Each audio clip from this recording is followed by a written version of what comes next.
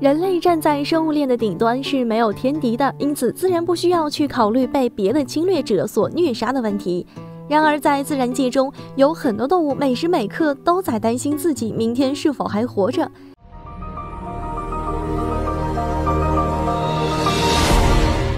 自然界一向是弱肉强食的，弱者不可能平平安安的度过一生。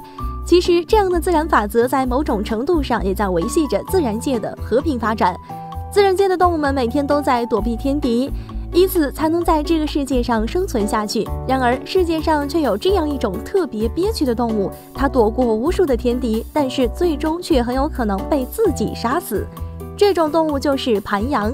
盘羊的体型是非常庞大的，雄性可高达一点二米，体重可达两百千克。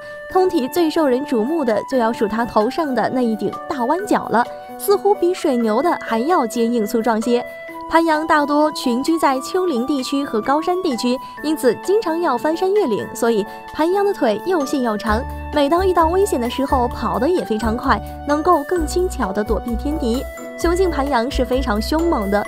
特别是在交配之前，雄性盘羊都会进行一场剧烈的争斗。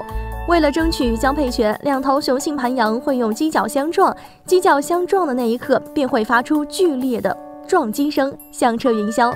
最终，只有胜利的一方才会有机会和雌性交配。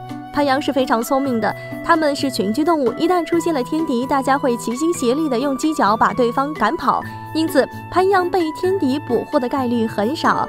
然而，最可悲的是，盘羊的那一对犄角虽然可以御敌，但也可以害己。随着盘羊年龄的增长，它的犄角也会越长越长，到最后会把自己戳死。这样的死法实在是太憋屈了，让人心疼。小伙伴们还有没有见过哪种动物与盘羊的遭遇一样的呢？